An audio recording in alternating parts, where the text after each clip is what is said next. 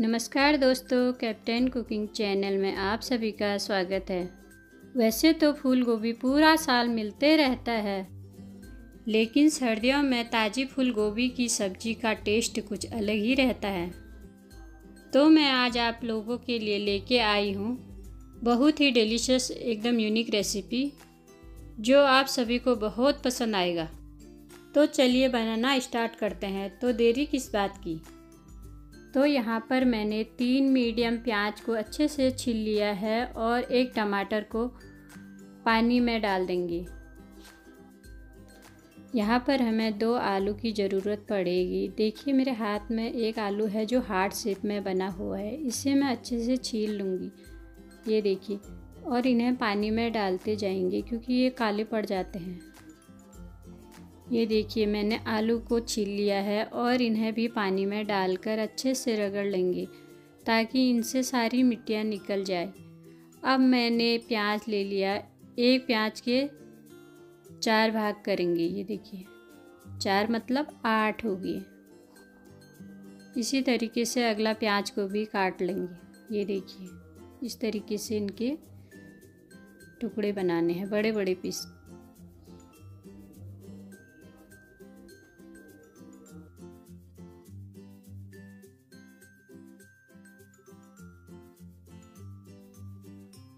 ये देखिए, अब इनकी कलियों को अलग अलग कर लेंगे। देखिए ये अलग अलग करते हुए इनको अलग रखेंगे और जो इनका अंदर का वाइट पार्ट है, उसे अलग कर लेंगे।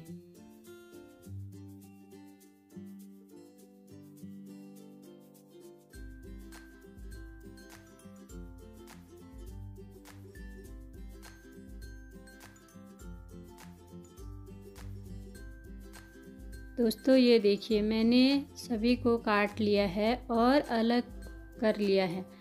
बड़े वाले एक प्लेट में अलग रख दिए और छोटे वाले टुकड़े जो हैं, उनको जार में रखेंगे। इन्हें पीस लेते हैं।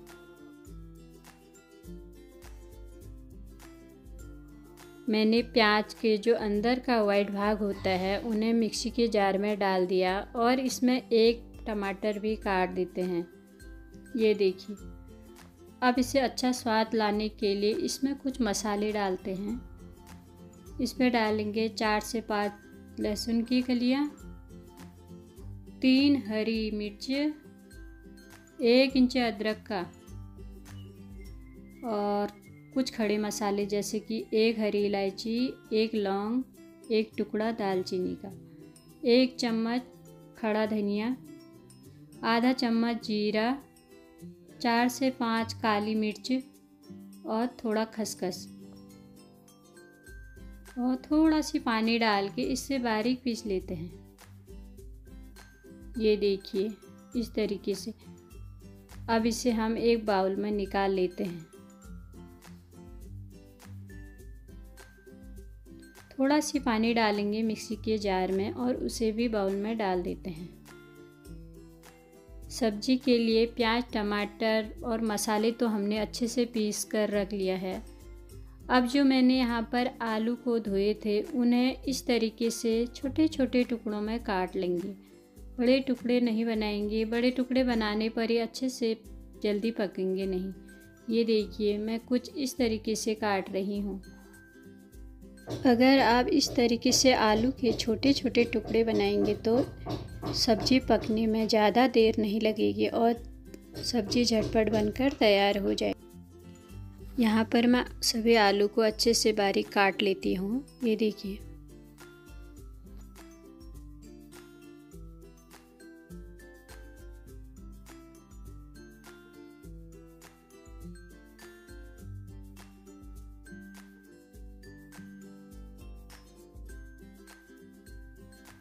आलू मैंने काट लिए हैं और इस बाउल में रख दिए। अब यहाँ पर मैं फूल गोभी को भी इस तरीके से काट लेती हूँ, ये देखिए। अब हम गैस की तरफ़ चलते हैं। गैस में मैंने एक कढ़ाई चढ़ा ली है और मीडियम आँच करी है। इसमें दो टेबल स्पून तेल डालेंगे। मैंने यहाँ पर सरसों का ही तेल लिया है, आप रिफाइंड तेल भी ले सकते हैं, ये देखिए।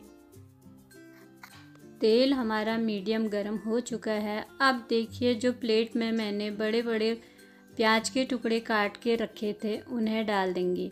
इन्हें तेज़ आँच में ही फ्राई करना है। ये देखिए, ताकि क्रंची बने रहे, जलाना नहीं है। इन्हें चलाते रहे। प्याज को फ्राई करने में दो मिनट लगे हैं। अब इसमें हल्का सा गोल्डन कलर आ गया है। अब इन्हें निकाल लेते हैं। ये देखिए करछी को किनारे करके सारा तेल निकाल लें फिर इन्हें प्लेट में रख लेते हैं।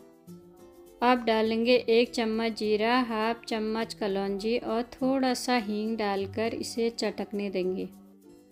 ये सभी चीज़ अच्छे से भून गए हैं, इनमें से अच्छी सी खुशबू आने लगी है। अब जो हमने आलू और गोभी काट के रखा था, उन्हें भी इस कढ़ाई में डाल देते हैं और इन्हें फ्राई कर लेते हैं, हल्की आँच में। मीडियम टू हाई फ्लेम में इन्हें चलाते रहें, ताकि सब्ज़ी तले में ना चिपके। सब्ज़ी को तब तक चलाएँगे जब तक इसमें गोल्डन कलर ना आ जाए। गोभी और आलू हल्का सा भून गए हैं। अब हमने जो प्याज और टमाटर पीस के रखा था, उसे भी इसमें मिला लेते हैं।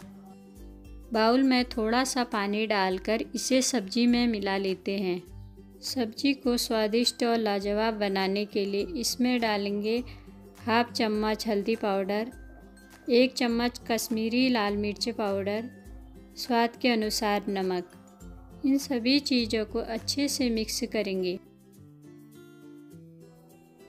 अब इसे ढककर दो मिनट हल्की आँच में पकने देते हैं। दो मिनट बाद ढक्कन निकालेंगे और ये देखिए, कितना अच्छा कलर आया है। सब्ज़ी आधा तो पक गया है, आधा पकना बाकी रह गया है।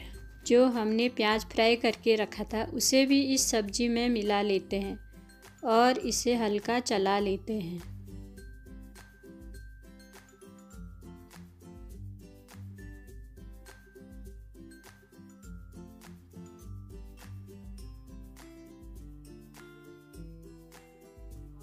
यहाँ पर इसे तरीदार बनाने के लिए इसमें मैं एक कप पानी डालूँगी और इसे ढक्कन मार के तीन मिनट और पकाएँगे। ये देखिए, तीन मिनट बाद कितना अच्छा सा कलर आ गया और सब्ज़ी अच्छे से पक गई है।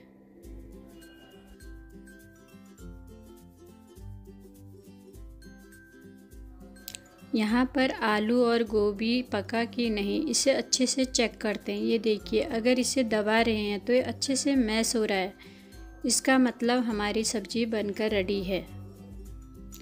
हमारी आलू गोभी की सब्ज़ी बनकर तैयार है। अब मैं इसमें बारीक कटा हुआ हरा धनिया भी डाल लूँगी ताकि अच्छी सी खुशबू आ जाए और थोड़ा सा इसमें घी भी डाल देंगे ताकि सब्ज़ी बहुत स्वादिष्ट लगे।